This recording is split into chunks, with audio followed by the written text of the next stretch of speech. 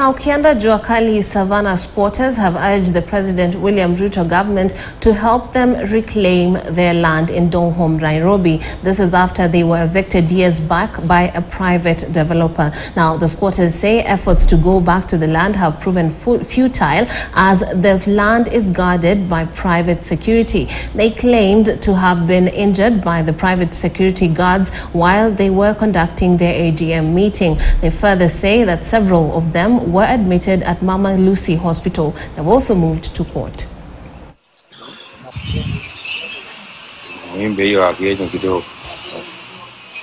Nimesikia mko na chorus ya haki muimbe kiasi. nikikosa kama hutaniitishia watoto waone mahali ya kukaa. Tunasirika sana miaka mingi. Sisi Savana jua kali squatters tunajua saba ya Donholm Savana, saba hiyo ni yetu, kwa sababu tulipewa ni mtu anaitwa chief 1993.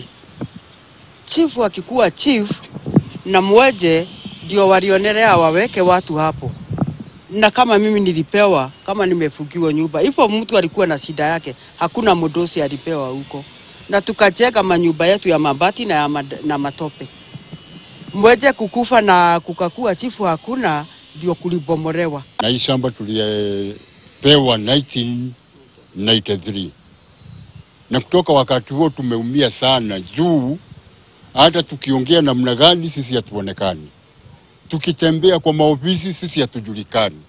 Sababu ni kwa sababu hatuna pesa. Sasa siku ya leo tulikuwa na mkutano, tukutane kwa shamba hiyo.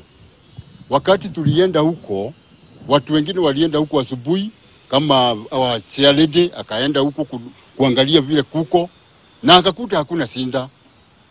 Saa ile watu wetu walienda uh, members walianza kuingia kuingia, ndio mob ikatoka mbali, watu more than 400 na wamekuja na marungu kutupia.